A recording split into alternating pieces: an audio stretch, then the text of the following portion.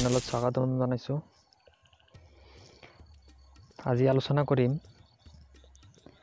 Social welfare ডিপাৰ্টমেণ্টত provide কৰা মোবাইলৰ বিষয়ে আৰু সেই মোবাইলত ব্যৱহাৰ হোৱা ছফ্টৱেৰটো বা এপ্লিকেশ্যনটো যাৰ নাম হৈছে com care L T S আৰু কম কেয়াৰ এল টি এছটো আপোনাৰ মোবাইলত যদি কেতিয়াবা ডিলিট হৈ গৈছে সেইটো আপুনি ৰিইনষ্টল কেনেকৈ কৰিব? তাৰ বিষয়ে জনাম আজি মই। তো আপোনাৰ মোবাইল যেতিয়া আপোনাক দিয়া হৈছিল আৰু সেই সময়ত সেই মোবাইলত ইণ্টাৰনেল মেমৰিত এটা ফল্ডাৰ দিয়া আছিল। সেই ফল্ডাৰটো চাওক আপুনি আপোনাৰ মোবাইলটো উলিয়াই ল'ব। আপুনি ফাইল মেনেজাৰত যাব। ফাইল মেনেজাৰত গৈ আপুনি ইণ্টাৰনেল মেমৰিত এটা ফল্ডাৰ আছে আছাম এ পি কে আৰু সেই ফল্ডাৰটোত চাব কিছুমান ছফ্টৱেৰ আছে আৰু এটা লগতে com care L T S বোলা এটা ফল্ডাৰ আছে।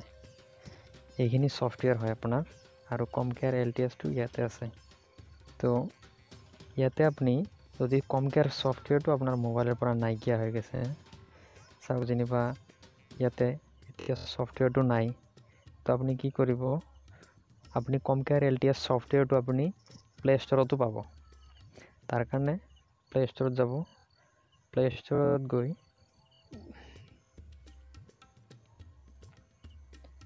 আপুনি ইয়াতে টাইপ কৰিব com care L T S. Type কৰি চাৰ্চ কৰিব। কৰাৰ পিছত এই ছফ্টৱেৰটো আপুনি ইয়াৰ পৰা ডাউনলোড কৰি ল'ব পাৰিব। আৰু যদিহে আপোনাৰ মই দেখুওৱাৰ দ্বাৰা ফাইল মেনেজাৰত যদি আপোনাৰ সেই ছফ্টৱেৰটো আছে তেতিয়াহ'লে আপুনি তাৰ পৰাই পাব। আৰু কোন যিখিনিয়ে নাপাব কোনখিনিয়ে নাপাব সেইখিনি হৈছে যিখিনি মোবাইল আপুনি যদিহে আপোনাৰ মোবাইলটো ৰিছেট কৰিছিল তেতিয়াহ'লে আপুনি সেই ফাইলটো আপোনাৰ সেই ফাইল মেনেজাৰত নাপাব। তো মই দুটাই পদ্ধতিয়ে দেখাই দিলোঁ প্লে' ষ্ট'ৰৰ পৰা কেনেকৈ ডাউনলোড কৰিব আৰু ইফালে ফাইল মেনেজাৰৰ পৰা কেনেকৈ কৰিব। ইণ্টাৰনেল মেমৰিত যাব আছাম এ পি কেত যাব যাই কম কেয়াৰ ছফ্টৱেৰ এইটো আপুনি এইটো ইনষ্টল কৰি ল'ব। মই দেখাই দিছোঁ আকৌ। এইটো হৈছে ছফ্টৱেৰটো এ পি কে আছে লাষ্টত com care O' D K two point double four point five L T S dot A P K বুলি আছে। এইটো আপুনি ইনষ্টল দিলেই হৈ যাব। প্ৰথমতে আপুনি এইটো ইনষ্টল কৰি ল'ব। এনেকৈ।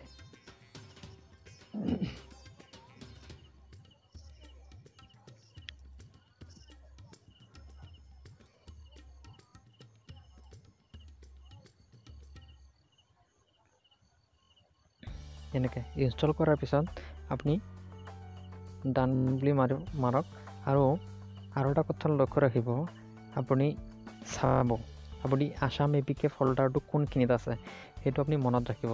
চাওক ইণ্টাৰনেল মেমৰিত আছাম এ পি বা আপোনাৰ মোবাইলত হয়তো আছাম এ পি কে বুলি লিখা আছে ফল্ডাৰটো তো তেনেকৈ আপুনি মনত ৰাখিব। ইয়াৰ পৰা যাওক এতিয়া কম কেয়াৰ এইটো চাওক। এইটো অ'পেন কৰি ল'ব। এইটো অ'পেন কৰি ল'ব। কৰাৰ পিছত চাৰিবাৰ আপোনাক ইণ্টাৰফেচ আহিব এনেকৈ। আপুনি এলাউ কৰি দিব লাগিব গোটেইখিনি। এলাউ এলাউ এইটো এলাউ কৰি দিব এইটো এলাউ কৰি দিব। দিয়াৰ পিছত চাওক এতিয়া আপুনি ছফ্টৱেৰটো দুটা পদ্ধতিৰে আপুনি ইনষ্টল কৰিব পাৰিব। ইয়াতে দেখুওৱাৰ দৰে। ইয়াতে দেখুওৱা মতে দুটা পদ্ধতিৰ পদ্ধতিৰে আপুনি ইনষ্টল কৰিব। প্ৰথমটো হৈছে বাৰকোড স্কেন কৰি বাৰকোড ক'তো নাপায় তো তাৰ কাৰণে আপুনি ক'তো নাপাব এইটো গ'ল। আৰু দ্বিতীয়টো হৈছে এণ্টাৰ কোড কোডটো আপুনি নাপাব ক'তো। তো আপুনি এতিয়া কেনেকৈ ইনষ্টল কৰিব বিচাৰে তো চাওক। আপুনি কম কেয়াৰটো খুলি ল'ব। লৈ আপুনি আপোনাৰ ৰাইট হেণ্ড ছাইডৰ ওপৰৰ কৰ্ণাৰত এই তিনিটা বিন্দু তাতে ক্লিক কৰিব। কৰি চাওক ইয়াতে দুটা অপশ্যন আহিছে অফলাইন ইনষ্টল আৰু দ্বিতীয়টো আছে C apps for my user আপুনি দ্বিতীয়টোত নাপাব যাৰ কাৰণে আপোনাক অফলাইনত যাব। অফলাইনত যোৱাৰ পিছত এনেকৈ আহিব। অহাৰ পিছত ইয়াতে চাওক ইয়াতে খালী ঘৰ। ইয়াতে এটা ফাইলৰ ছবি। আৰু এইখিনিতে ইনষ্টল এপ এতিয়া চাওক। ইয়াতে দিছে ইয়াতে দিছে please select a C C Z file to begin C C Z ফাইলটো হৈছে মই যে আপোনাক প্ৰথমে ক'লোঁ যে আপোনাৰ ফাইল মেনেজাৰত ইণ্টাৰনেল মেমৰিত আছাম এ পি কে বুলি ফাইলটোৰ ভিতৰত com care L T S বুলি ফল্ডাৰ আছে তাৰ ভিতৰত এটা ফাইল আছে। আপোনাক আকৌ দেখাই দিছোঁ ইণ্টাৰনেল মেমৰিত যাব ফাইল মেনেজাৰ ইণ্টাৰনেল মেমৰিত আছাম এ পি কে ফাইলত যাব com care L T S ইয়াতে চাওক এই ফাইলটো এই ফাইলটো থাকিব লাগিব।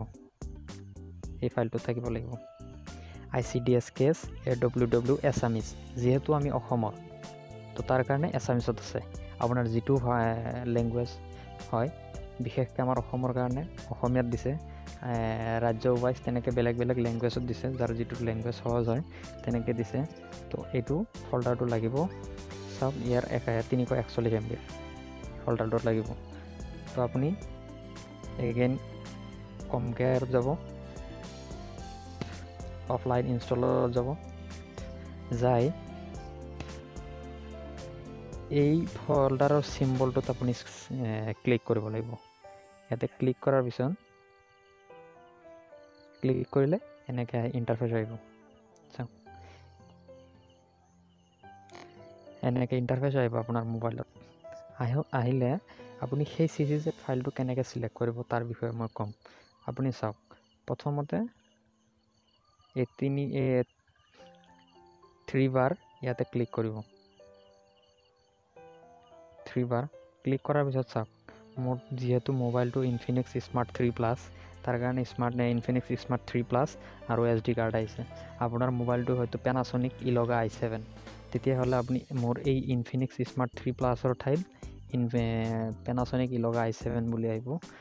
আপুনি তাতে নাহিবও পাৰে।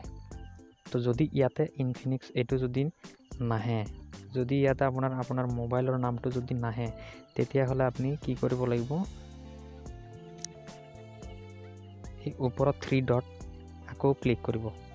থ্ৰী ডট ইয়াতে ক্লিক কৰি আপুনি ইয়াতে হয়তো মোৰটো আছে হাইড ইণ্টাৰনেল ষ্ট'ৰ ইয়াতে আপুনি শ্ব' ইণ্টাৰনেল ষ্ট'ৰেজ কৰিব লাগিব। শ্ব' কৰাৰ লগে লগে চাওক হাইড কৰি দিলে চাব ইয়াৰ পৰা গুচি যাব। চাওক খালি মাত্ৰ এছ ডি কাৰ্ড আহিছে। আৰু যদি আপুনি ইয়াতে show' internal S D card দেখায় তেতিয়াহ'লে আপোনাৰ মোবাইলৰ ইণ্টাৰনেল মেমৰি ইয়াতে আহিব। আপুনি চিধা ইয়াতে ক্লিক কৰিব। কৰাৰ পিছত ইয়াতে চাওক আপোনাৰ ইণ্টাৰনেল মেমৰিত থকা যিমানখিনি ফল্ডাৰ আছিল গোটেইখিনি ফল্ডাৰ খোল খাইছে। আপুনি ইয়াৰ পৰা আছাম এ পি কে ফাইলটো বিচাৰি লওক। এইটো চাওক। এইটো Assam A P K file আপোনাৰ মোবাইলত হয়তো এনেকুৱা এনেকুৱাটো আহিব পাৰে। এনেকুৱাকৈও আহিব পাৰে। কোনো কথা নাই। ওপৰৰ এইখিনিতে আপুনি হেৰি কৰিব পাৰিব এনেকুৱা কৰিব লাগিব। আপুনি চাওক এনেকৈ হ'লেও আপুনি ইয়াৰ পৰা আছাম এ কে ফল্ডাৰটো আপুনি বিচাৰি ওলাওক চাওক এইটো ওলাইছে। এইটো Assam A A P K A A P L A L L S. আপুনি এই ফল্ডাৰটো অ'পেন কৰক। কৰাৰ পিছত চাওক com care L T S. ইয়াতে ক্লিক। কৰাৰ পিছত এই ফল্ডাৰটো আপুনি ক্লিক কৰাৰ লগে লগে তাতে গুচি যাব কৰাৰ লগে লগে গোটেইখিনি বস্তু ইয়াতে আহি গ'ল চাওক ক'ৰ পৰা আহিছে storage emulated zero' Assam A P K com care L T S তাৰ ভিতৰত এই ফাইলটো আছে এতিয়া আপুনি ইনষ্টল ইনষ্টলত ক্লিক কৰিব লাগিব ইনষ্টলত ক্লিক কৰাৰ লগে লগে এনেকৈ আহিব মোটামুটি আপোনাক আঠাইছশমান ফাইল ইয়াতে আনজিপ হ'ব তো অলপ ৱেইট কৰিব লাগিব নোহোৱালৈকে এইটো ইনষ্টল হোৱালৈকে মই আপোনাক এটা কথা জনাব যে আপোনাৰ মোবাইলটো কোনো কাৰণত আপুনি ৰিছেট নামাৰিব যিমান পাৰে বহুত বিশেষ অসুবিধা হ'লে আপুনি আপোনাৰ নিজৰ অফিচলৈ গুচি যাব তাতে আপোনাৰ পোষণ অভিযানৰ কাৰণে আপোনাৰ এই মোবাইলটোৰ কাৰণে আপোনাৰ এজন মানুহ হয়- হয়তো দিয়া আছে।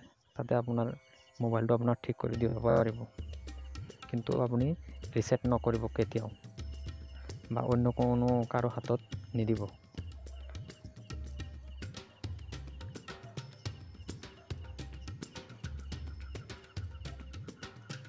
আৰু যদি কিবা খোকোজা থাকে আপুনি মোক যোগাযোগ কৰিব পাৰে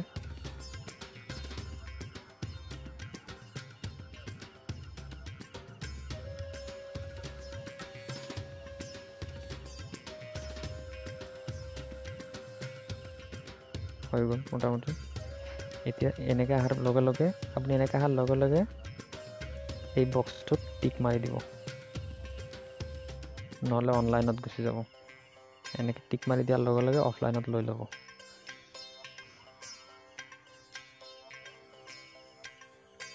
অলপ মোটামুটি সময় ল'ব।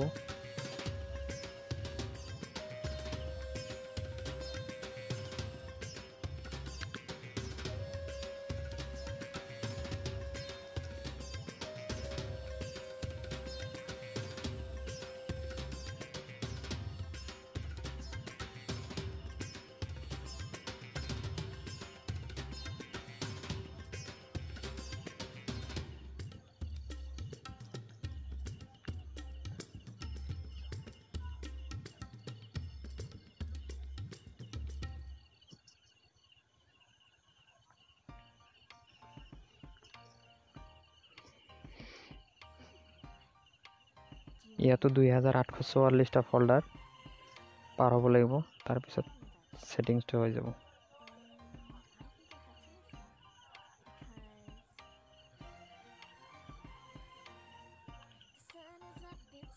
আৰু মোবাইলবিলাক আপোনালোকে অন্য কোনো কামত ব্যৱহাৰ নকৰিব।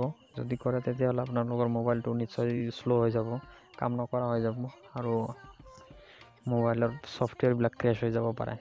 তো যিহেতু আপোনালোকক অফিচিয়েল ইউজ কৰিব দিছে তো আপোনালোকে সেইমতেই ইউজ কৰিব।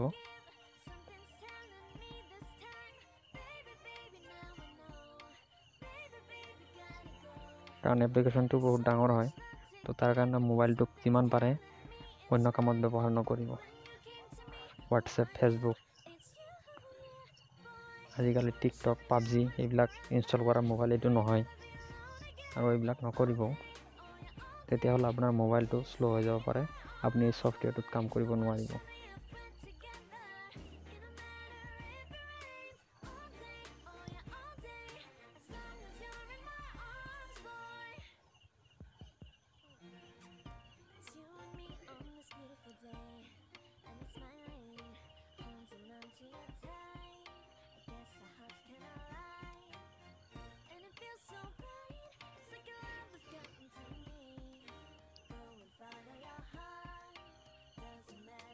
হৈ গ'ল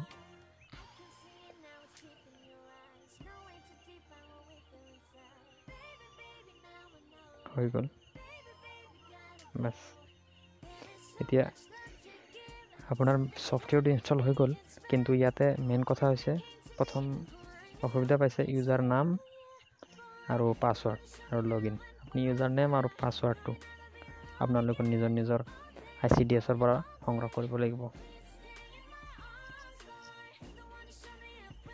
আৰু যদিহে আপোনাৰ হাতত কনচাৰ্ণ ফৰ্মটো আছে যি সময়ত আপোনাক মোবাইল দিয়া আছিল সেই সময়ত যদি আপোনাক আপোনালোকৰ এগ্ৰিমেণ্ট পেপাৰখন যদি দিছিল তেতিয়াহ'লে সেইখন ফৰ্মত ইউজাৰ আই ডি আৰু পাছৱৰ্ড বুলি লিখা আছে। সেইমতে মাদি লগ ইন কৰিলে লগ ইন হৈ যাব। তো মই একবাৰ অফলাইন প্ৰেক্টিছ মোডত সোমাই দেখাই দিছোঁ। চাওক প্ৰেক্টিছ মোডত লগ ইন হৈ গ'ল। ঠিক আছে। ধুনীয়াকৈ আহি গ'ল। আপোনালোকে ইউজাৰ আই ডিটো আৰু পাছৱৰ্ডটো তাতে বহাই লগ ইন কৰিলেই আপোনালোকৰ যিখিনি ডাটা যিখিনিলৈকে আপোনালোকে কাম কৰিছিল আৰু চিংক্ৰনাইজ কৰিছিল সেইখিনিলৈকে আহি যাব বা সেইখিনিলৈকে ঠিকে থাকিব। তাৰপিছত আপোনাৰ আপোনালোকৰ নিজৰ পৰৱৰ্তী কামবিলাক কৰি যাব পাৰিব। কোনো অসুবিধা নোহোৱাকৈ।